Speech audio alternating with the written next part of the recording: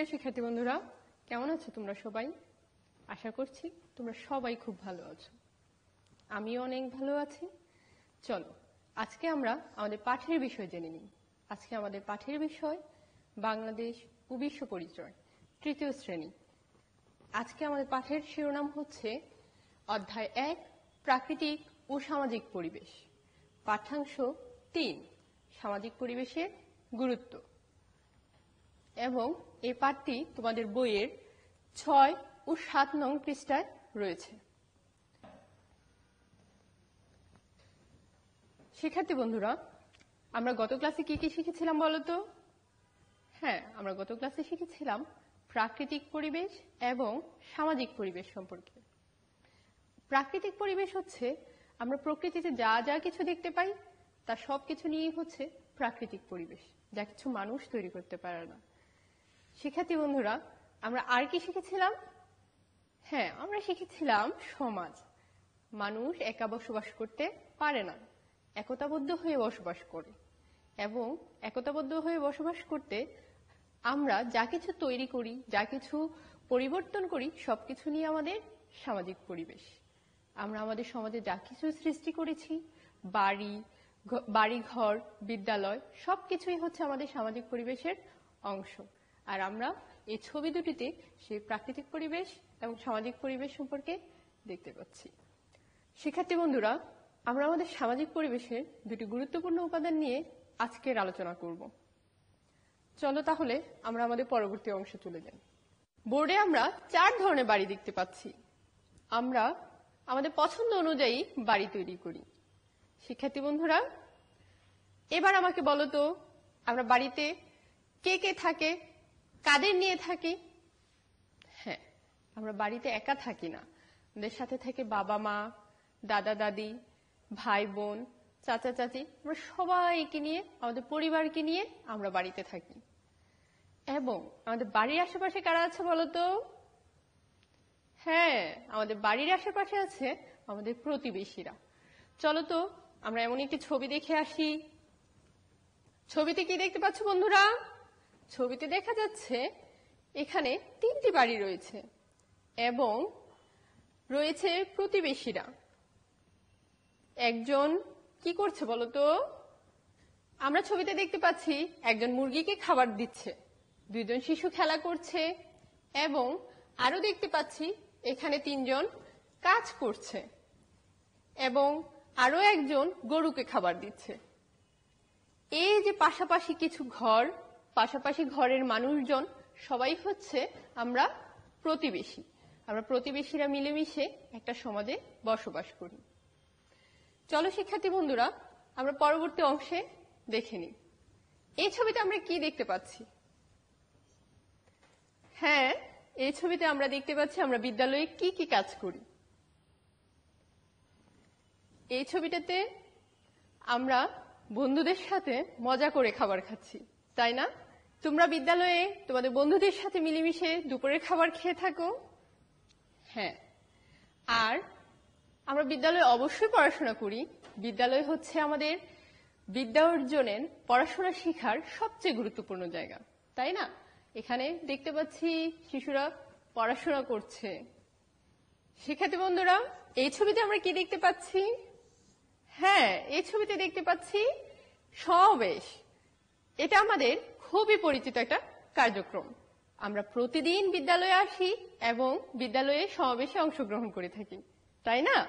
আচ্ছা এই ছবিতে আমরা কি দেখতে পাচ্ছি? হ্যাঁ এই ছবিতে দেখতে পাচ্ছি বিদ্যালয়ের একটি সাংস্কৃতিক অনুষ্ঠান। আমরা আমাদের বিভিন্ন দিবসে, যেমন বিজয় দিবস, স্বাধীনতা দিবস এবং মৌসুমী প্রতিযোগিতায় কিছু অংশগ্রহণ করে থাকি। আচ্ছা বন্ধুরা, বলতো, আমরা কি বিদ্যালয়ে শুধু পড়াশোনাই করি?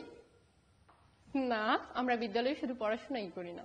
পড়াশোনার পাশাপাশি আরও অনেক আনন্দদায়ক কাজ করি, জাতীয় অনুষ্ঠানে অংশগ্রহণ করি, তাই নয় কি? বন্ধুরা, বোর্ডে তোমরা কি দেখতে পাচ্ছ? একটি বিদ্যালয়ের ছবি। এই ছবিটিতে আমরা একটি বিদ্যালয় দেখতে পাচ্ছি। বিদ্যালয়ের শিক্ষক এবং ছাত্রছাত্রীবৃন্দ। তাহলে আমরা জানলাম, সামাজিক পরিবেশের দুটি গুরুত্বপূর্ণ উপাদান হল বাড়ি ও বিদ্যালয়।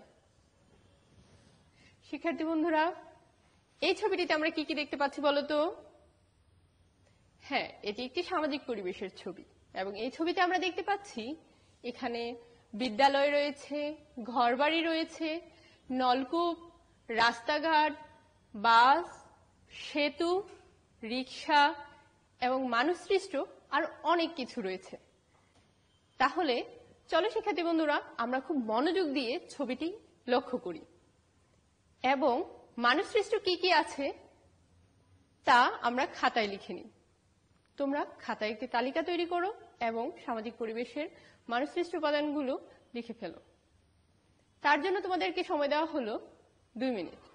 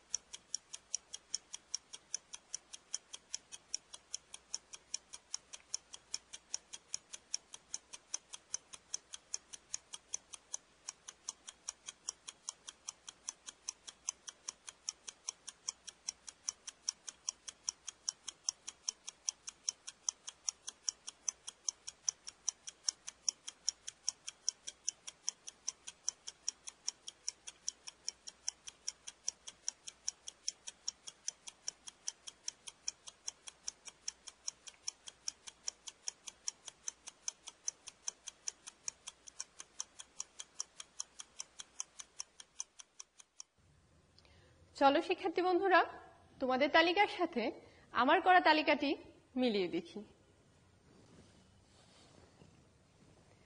আমরা এখানে মানুষ সৃষ্ট কি কি জিনিস দেখতে পাচ্ছি? আমি দেখতে পাচ্ছি, বাস, তোমরা কি সেটা লিখেছ? আশা করি তোমরা সবাই লিখেছ। এখানে রয়েছে ভ্যান এবং বিদ্যালয়, আছে নলকূপ। এখানে আছে নলকূপ এবং আছে বাড়ি। আমাদের এখানে আছে বাড়ি, আছে একটি সেতু। আমাদের ছবিতে রয়েছে একটি সেতু।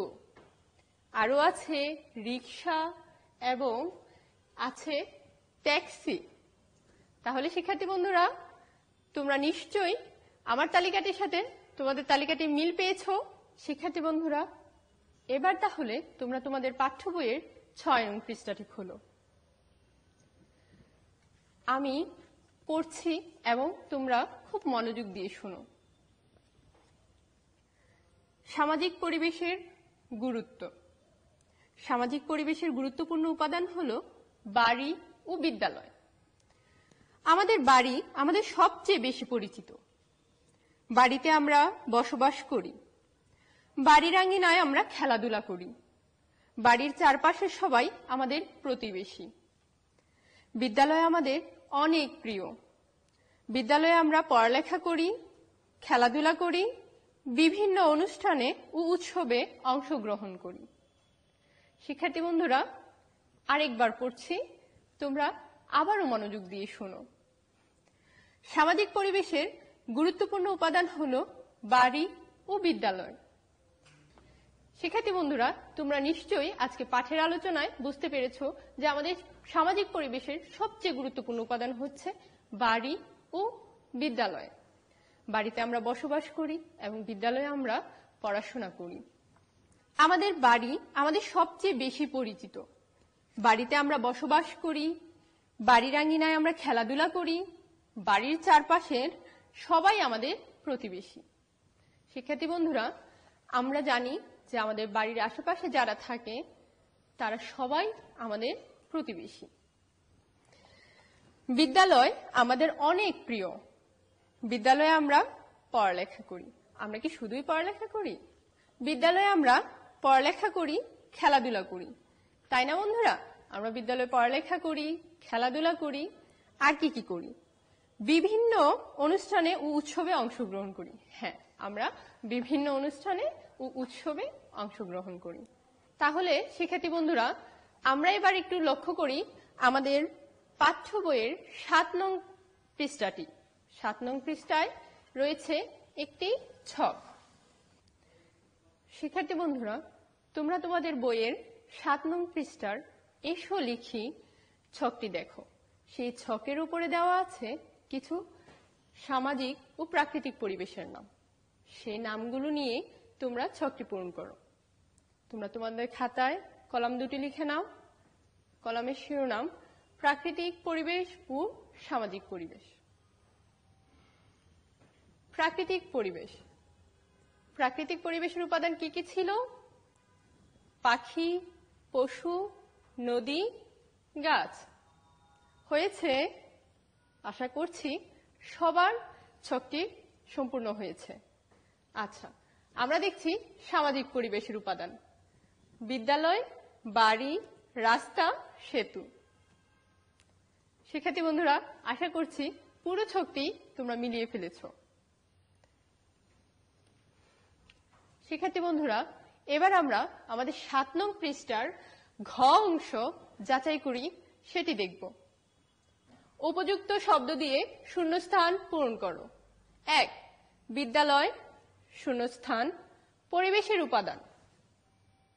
আমরা সব সময় শূন্যস্থান, পরিষ্কার, পরিচ্ছন্ন রাখব। তোমরা বলতে পারছ? কি হবে এখানে? চলো, তোমাদের লেখাটির সাথে আমার লেখাটি মিলিয়ে দেখি। বিদ্যালয়, সামাজিক পরিবেশের উপাদান। বিদ্যালয়, সামাজিক পরিবেশের উপাদান। হয়েছে আশা করছি হয়েছে। আমরা সব সময় বাড়ি ও বিদ্যালয় পরিষ্কার পরিচ্ছন্ন রাখব। আমরা সব সময় বাড়ি ও বিদ্যালয় পরিষ্কার পরিচ্ছন্ন রাখব। শিক্ষার্থী বন্ধুরা, আজকের পাঠে আমরা যা যা শিখলাম তা কতটুকু মনে আছে চলো দেখে নিই। সামাজিক পরিবেশের দুটি গুরুত্বপূর্ণ উপাদানের নাম বলো। হ্যাঁ বাড়ি ও বিদ্যালয়। ঠিক বলেছে, শিক্ষার্থী বন্ধুরা।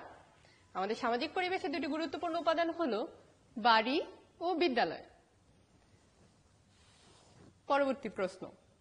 সামাজিক পরিবেশের তিনটি গুরুত্ব বলো। সামাজিক পরিবেশের তিনটি গুরুত্ব বলো। হ্যাঁ শিক্ষার্থী বন্ধুরা, তোমাদের উত্তরের সাথে আমাদের লেখাটি মিলিয়ে নিই। সামাজিক পরিবেশের তিনটি গুরুত্ব হলো, বাড়িতে আমরা বসবাস করি বাড়ির আঙিনায় আমরা খেলাধুলা করি, বিদ্যালয়ে আমরা পড়ালেখা করি। শিক্ষার্থী বন্ধুরা, চলো আজকে আমরা আমাদের বাড়ির কাজটি দেখে নিই। তোমরা তোমাদের খাতা ও কলম নিয়ে আমাদের বাড়ির কাজটি লিখে রাখো। আমাদের বাড়ির কাজ হল, সামাজিক পরিবেশ কেন গুরুত্বপূর্ণ? সামাজিক পরিবেশ কেন গুরুত্বপূর্ণ? শিক্ষার্থী বন্ধুরা তোমরা খাতায় অবশ্যই বাড়ির কাজটি লিখে নাও। প্রিয় শিক্ষার্থীবৃন্দ, তোমরা তোমাদের বাড়ির কাজটি অবশ্যই খাতায় করবে এবং বিদ্যালয়ের শ্রেণি শিক্ষককে দেখাবে।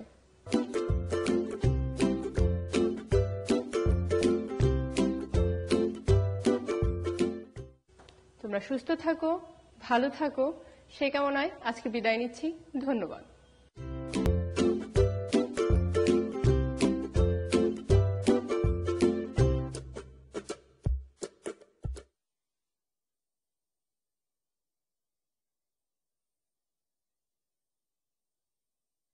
সুপ্রিয় শিক্ষার্থীবৃন্দ, কেমন আছো তোমরা সবাই? নিশ্চয়ই খুব ভালো আছো। আলহামদুলিল্লাহ, আমিও ভালো আছি। তারপরে কীভাবে ছুটি কাটছে? সবাই কি ঘরে বসে বসে শুধু খেলাধুলা করছ? খেলাধুলার পাশাপাশি আমরা একটু লেখাপড়াও করব। আসলে এখন তো বাইরে যাওয়া যাচ্ছে না। তাহলে আমাদের মাননীয় প্রধানমন্ত্রী আমাদের জন্য কি করেছেন? টেলিভিশনের মাধ্যমে পাঠ উপস্থাপনের ব্যবস্থা করেছেন। সবাই আমরা কি করব? টেলিভিশনের সামনে বসে পাঠগুলো মনোযোগ সহকারে দেখব। আজকে আমি তোমাদেরকে চতুর্থ শ্রেণির বিজ্ঞান বিষয়ের পানিবাহিত রোগ সম্পর্কে পড়াবো। ঠিক আছে, সবাই বসে পড়ো, খাতা কলম সাথে রেখো, আমি যা যা বলব একটু মনোযোগ সহকারে শুনবে। এখন দেখো, এখানে রাজু আর মিনা কি কি দেখতে পেল? প্রথমে কি দেখল তারা? যে একটি শিশু পুকুর পাড়ে বসে কি? মল ত্যাগ করছে। এতে করে কি হচ্ছে?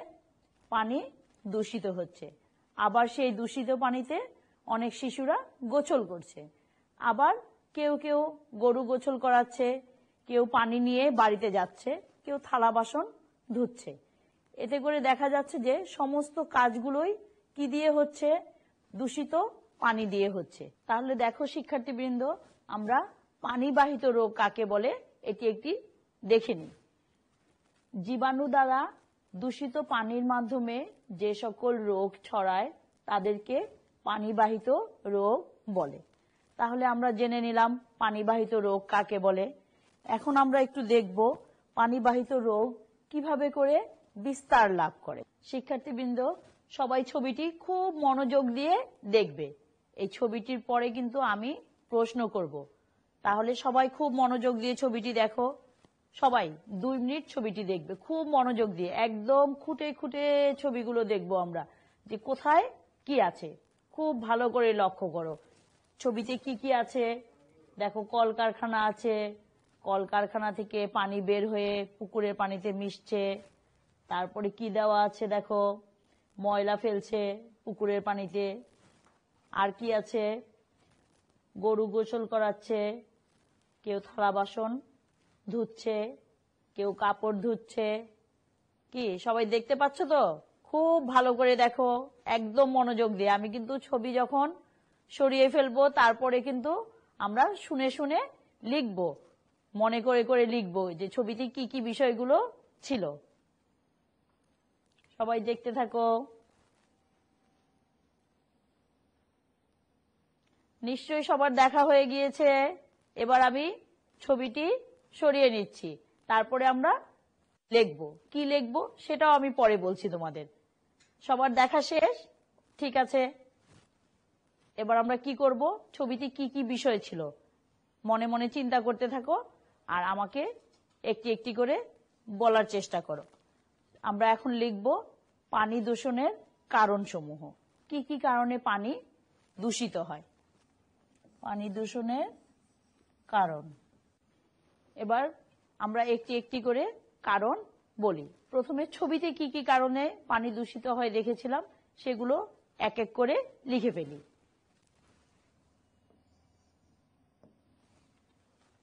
প্রথমে কি হচ্ছিল?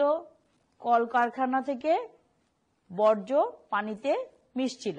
তাহলে আমরা কি লিখব? যে কলকারখানার বর্জ্য পানিতে মিশলে পানি দূষিত হয়।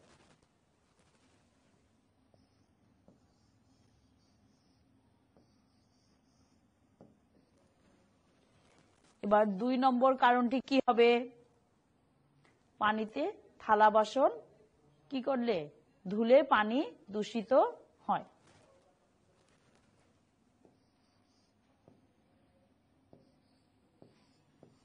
তাহলে পানিতে থালা বাসন ধুলে পানি দূষিত হয়।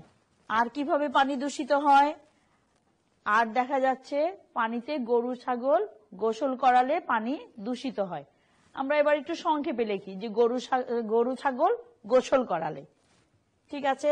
কি লিখব? গরু ছাগল গোসল করালে। দেখো, আর কীভাবে হয়? পানিতে গরু ছাগল গোসল করালে। এছাড়াও আরও অনেকগুলো কারণ আছে। আমরা একটু মুখে মুখে বলি এবার কারণগুলো। প্রথম থেকে একটু বলি, পানিতে কলকারখানার বর্জ্য পানিতে মিশলে পানি দূষিত হয়। পানিতে গরু, ছাগল গোসল করালে পানি দূষিত হয়। পানিতে কাপড় চোপড় ধুলে পানি দূষিত হয়। পানিতে ময়লা আবর্জনা ফেললে পানি দূষিত হয়। এই জিনিসগুলো আমরা আমাদের ছবিতে দেখেছি। এছাড়াও আরও অনেক কারণে পানি দূষিত হয়। কি কি কারণে পানি দূষিত হয়? আমরা আরেকটু চিন্তা করে দেখি। যেমন প্রাকৃতিক কিছু কারণ আছে, এইসব কারণেও পানি দূষিত হয়। বৃষ্টির পানিতে ময়লা আবর্জনা পানিতে মিশলে পানি দূষিত হয়। আবার খেতে যে কীটনাশক প্রয়োগ করা হয়, বৃষ্টির পানিতে সে সকল কীটনাশক ধুয়ে পানিতে আসে, এতে করেও পানি দূষিত হয়। পানির ধারে পায়খানা নির্মাণ করলে মলমূত্র পানিতে এসে মিশে, এতে করেও পানি দূষিত হয়। তাহলে কি আমরা সবাই পানি দূষণের কারণগুলো জানতে পারলাম? এবার আমরা দেখব পানি দূষণের কারণে আমাদের কি কি সমস্যা হয় বা কি কি রোগ হয়। একটু চিন্তা করে দেখো তো, দূষিত পানি যদি আমরা পান করি তাহলে কি হতে পারে? আমাদের ডায়রিয়া হতে পারে। এছাড়াও পানি দূষণের ফলে ডায়রিয়া, আমাশয়, কলেরা ইত্যাদি রোগ হয়ে থাকে। তাহলে আমরা পানি দূষণের কারণ জানলাম। পানি দূষণের ফলে আমাদের কি কি রোগ হয় সে সম্পর্কেও জানলাম। তাহলে এখন আমরা তোমাদের জন্য ছোট্ট একটি বাড়ির কাজ দিচ্ছি। বাড়ির কাজের প্রশ্নটি তোমরা খাতায় লিখবে। সবাই খাতা কলম নিয়ে বসে পড়ো, আমি তোমাদের বাড়ির কাজের প্রশ্নটি দিয়ে দিচ্ছি। সবাই একটু খাতায় লিখে নাও। আমরা পানি দূষণের বিভিন্ন কারণসমূহ জানলাম। তোমরা আরও চিন্তা করে যদি আরও নতুন নতুন কোনো কারণ পাও, সেই কারণগুলো খাতায় লিখে ফেলবে। প্রয়োজনে তোমরা অভিভাবকের সহায়তা নিবে। তাহলে আমাদের বাড়ির কাজ হচ্ছে কি? পানি দূষণের কারণসমূহ। ঠিক আছে? বন্ধুরা, আমি আজকের পাঠ এখানেই শেষ করব। আমরা পানি দূষণের বিভিন্ন কারণ জানলাম। এটার জন্য আমরা ছবি দেখলাম। তোমরা আবার বইয়ের ছবিটি মনোযোগ দিয়ে দেখবে এবং বিষয়টি ভালোভাবে বোঝার চেষ্টা করবে। এবং বইয়ের ছবিটি দেখে দেখে আমরা আবার পানি দূষণের কারণগুলো আমাদের খাতায় লিখে ফেলব। তাহলে আজকের মতো আমার পাঠ এখানেই শেষ করছি। ধন্যবাদ।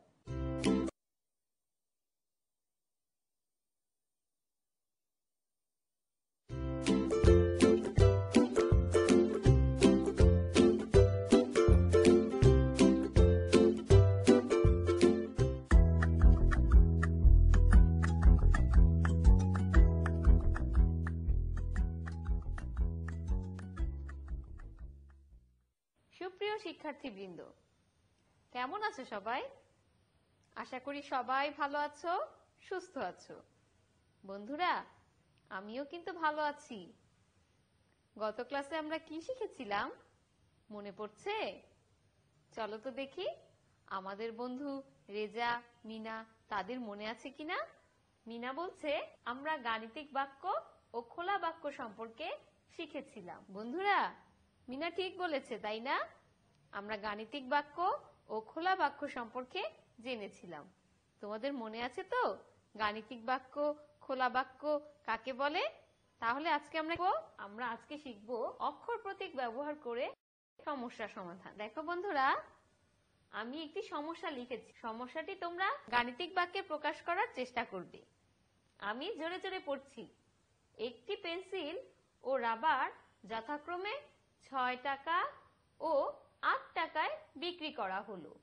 ক সংখ্যক পেন্সিল ও একটি রাবার আমরা খ টাকায় ক্রয় করলাম। বন্ধুরা, দেখো, এখানে কিন্তু খোলা বাক্য আছে।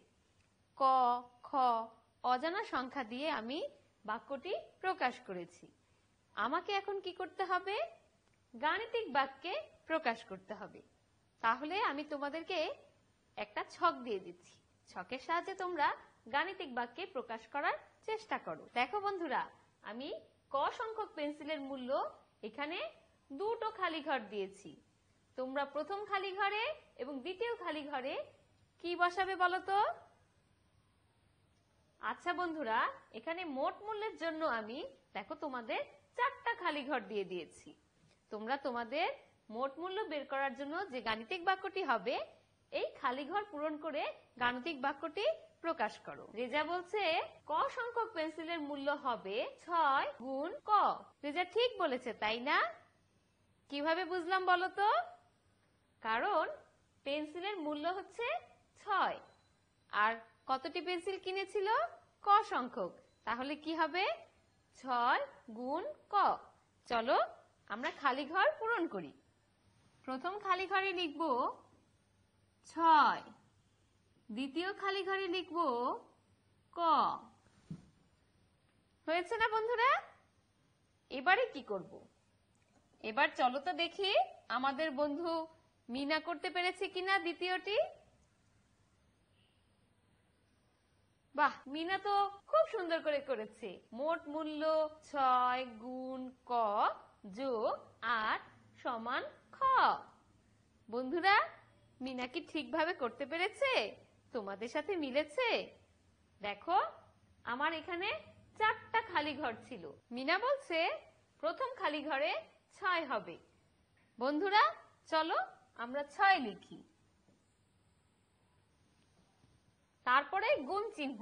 হ্যাঁ মিনাও তো গুণ চিহ্ন দিয়েছে। মিনা বলছে, দ্বিতীয় খালি ঘরে ক হবে? হ্যাঁ ঠিক বলেছি মিনা। দেখো ওই যে আমি ক সংখ্যক পেন্সিলের মূল্য ছয় গুণ ক লিখেছি উপরে, তাহলে এখানেও ছয় গুণ ক হবে। এবার কি হবে বন্ধুরা? যোগ চিহ্ন আছে, তাই না? হ্যাঁ মিনাও যোগ চিহ্ন দিয়েছে। দ্বিতীয় খালি ঘরে মিনা আট লিখেছে। ঠিক লিখেছে, তাই না বন্ধুরা? চলো আমরাও লিখি। আট। আট হচ্ছে রাবারের মূল্য, তাই না? তাহলে মোট মূল্য কত হচ্ছে? হ্যাঁ মিনা লিখেছে খ। একদম ঠিক লিখেছে। এখানে খ হবে। বন্ধুরা চমৎকার ভাবে মিনা এবং রেজা আমাদের গাণিতিক ভাবে প্রকাশ করা দেখিয়ে দিল। তাই না? তাহলে বন্ধুরা, চলো আমরা ক এর ভিন্ন ভিন্ন মানের জন্য ক্ষয়ের ভিন্ন ভিন্ন মান কি হতে পারে তা বের করার চেষ্টা করি। দেখো, এখানে আমি দিয়েছি কয়ের মান যথাক্রমে পাঁচ, দশ, পনেরো এবং বিশ হলে ক্ষয়ের মানগুলো কি হবে? দেখো বন্ধুরা, আমি এখানে খুব সুন্দর করে খালি ঘর দিয়েছি। খালি ঘরগুলো খুব সুন্দর করে পূরণ করতে হবে। দেখো বন্ধুরা, কয়ের প্রথম মান কত দেয়া আছে? পাঁচ। তাহলে প্রথম খালি ঘরে আমি কত বসাবো? পাঁচ। দেখো আমি পাঁচ বসিয়েছি। এখন আমি কি করব? গুণের কাজ আগে করব। ছয়কে পাঁচ দিয়ে গুণ করলে ত্রিশ হবে। ত্রিশের সাথে আমি আট যোগ করব। কত পেয়ে গেলাম?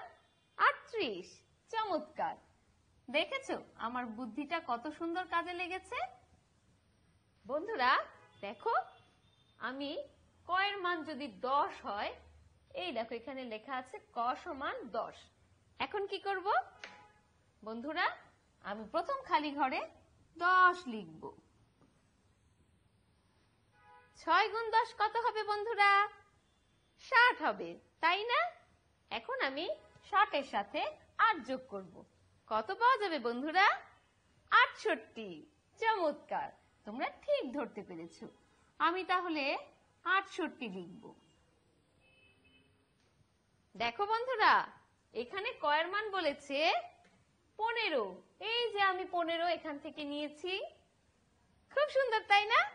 এখন কি করব? প্রথম খালি ঘরে পনেরো লিখব।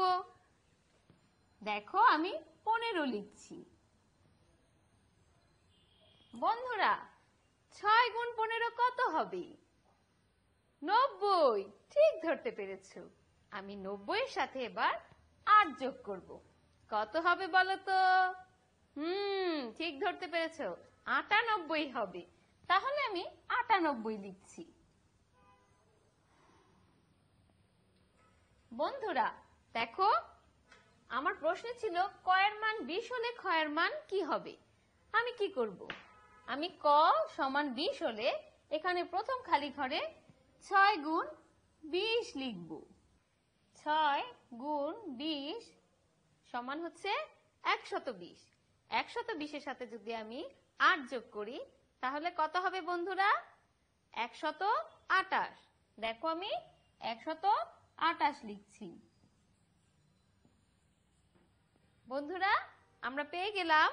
তাহলে বন্ধুরা, আমরা কি কয়ের ভিন্ন ভিন্ন মানের জন্য ক্ষয়ের মান বের করতে পারব? দেখো, পেন্সিলের দাম যদি পাঁচ, দশ, পনেরো, বিশ হয়, তাহলে খ কত হবে? কীভাবে করব? দেখো বন্ধুরা, আমি কিন্তু এই ছকে ক্ষয়ের মানগুলো বের করেছি। তাহলে আমরা একটু লক্ষ্য করলেই দেখব যে কয়ের মান যদি পাঁচ হয়, ক্ষয়ের মান বেরিয়েছে আমাদের আটত্রিশ। আমরা তাহলে এখানে লিখব আটত্রিশ। তাহলে ক্ষয়ের মান কত হবে বন্ধুরা? আটষট্টি। তাহলে এখানে কত লিখব? আটষট্টি। কয়ের মান যদি পনেরো হয় বন্ধুরা, তাহলে এখানে ক্ষয়ের মান কত হবে? আটানব্বই। আমি এখানে লিখব আটানব্বই। কয়ের মান যদি বিশ হয় বন্ধুরা, তাহলে ক্ষয়ের মান হবে একশত আটাশ। আমি এখানে কত লিখব? একশত আটাশ। বন্ধুরা, তোমরা কিন্তু সবাই আমার সাথে সাথে লিখবে। সবাই লিখতে পেরেছ তো? তোমরা কি বুঝতে পেরেছ আমি কীভাবে করেছি?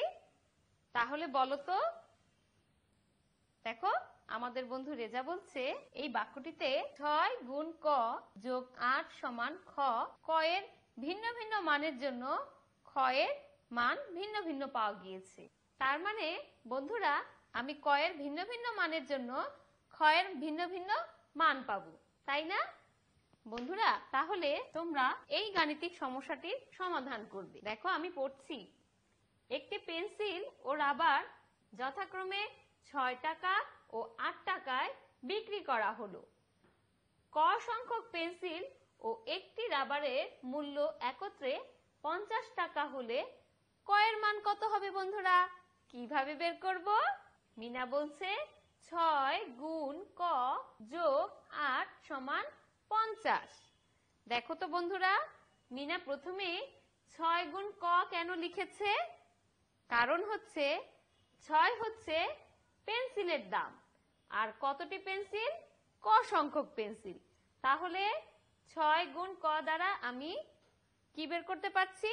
ক সংখ্যক পেন্সিলের মূল্য। তার সাথে কত যোগ দিয়েছে? আট। আট দ্বারা আমরা কি বুঝতে পারছি? রাবারের মূল্য। তাহলে ছয় গুণ ক যোগ আট সমান পঞ্চাশ। পঞ্চাশ হচ্ছে মোট মূল্য, একত্রে। তাই না বন্ধুরা?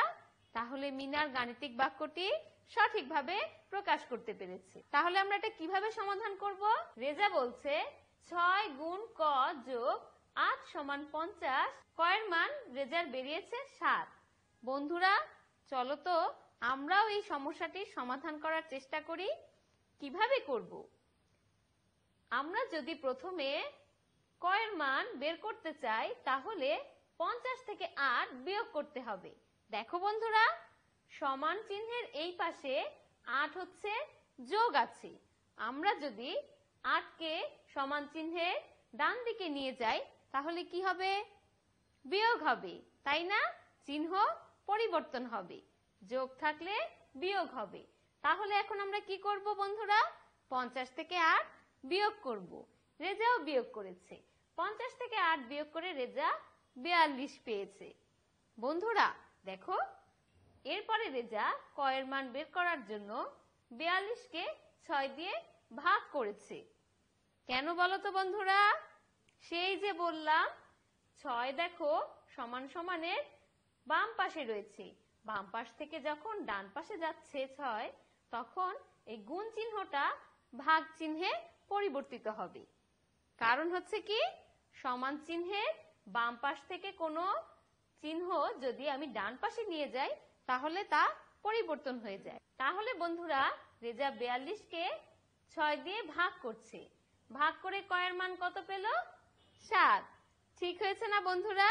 তাহলে আমরা ক সংখ্যক পেন্সিল মানে কয়টি পেন্সিল হবে? সাতটি পেন্সিল। পেন্সিলের আমরা সংখ্যা জেনে গেলাম। এবারে বন্ধুরা, তোমরা এই সমস্যাটি খাতায় লিখে নাও। আমি জোরে জোরে পড়ছি। তোমরা কিন্তু আমার সাথে সাথে পড়বে। একটি বইয়ের ওজন দুই শত চল্লিশ গ্রাম। হাকিম এরূপ কিছু বই ক্রয় করে সেগুলো পাঁচশো গ্রাম ওজনের বাক্সে রাখল। মনে করো বইয়ের সংখ্যা ক এবং মোট ওজন হচ্ছে খ।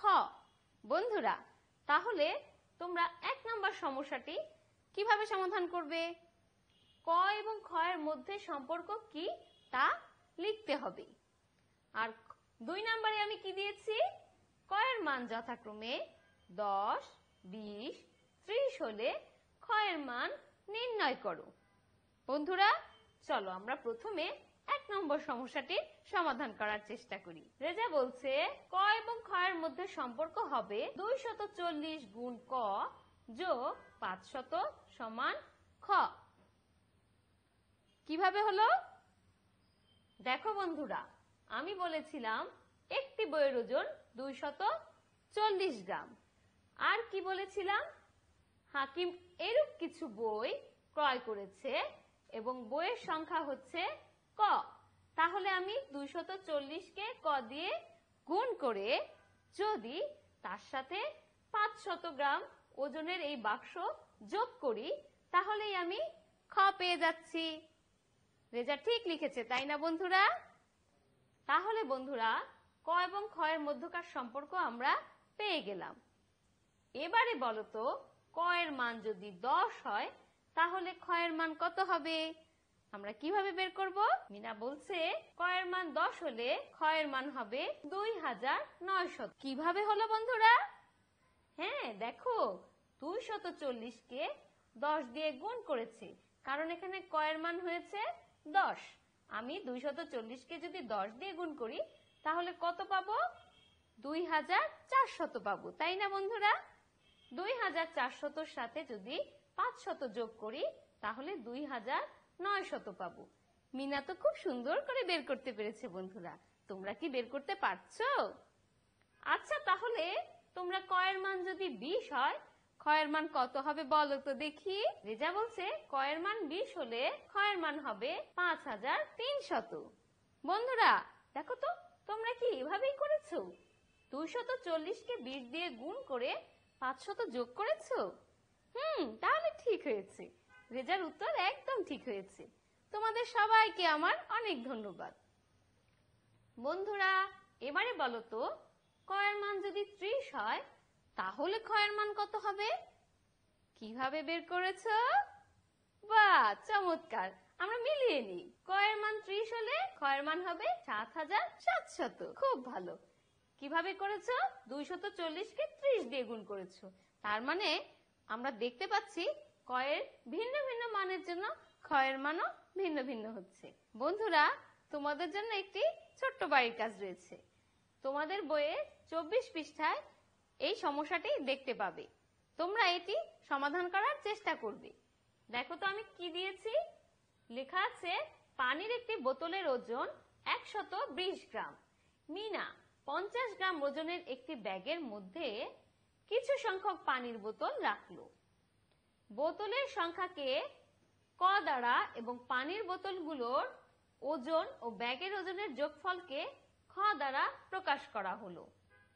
তাহলে এক নম্বরে বলা হয়েছে, ক এবং খ এর সম্পর্ক একটি গাণিতিক বাক্যের মাধ্যমে লেখো। দুই নম্বরে বলা হয়েছে, খ এর মান নির্ণয় করো যখন ক সমান দশ। তিন নম্বরে বলা হয়েছে, ক এর মান নির্ণয় করো যখন খ সমান সাতশো সত্তর।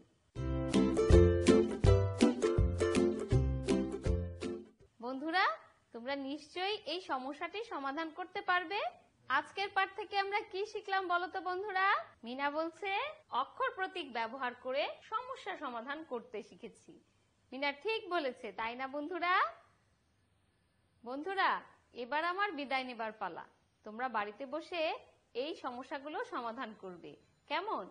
আর অবশ্যই নিরাপদে সকল প্রকার স্বাস্থ্যবিধি মেনে বাড়িতে অবস্থান করবে। ভালো থেকো বন্ধুরা, আবার দেখা হবে। পরবর্তী ক্লাসের জন্য নিমন্ত্রণ রইল। তোমাদের সবাইকে আমার আন্তরিক শুভেচ্ছা এবং ধন্যবাদ।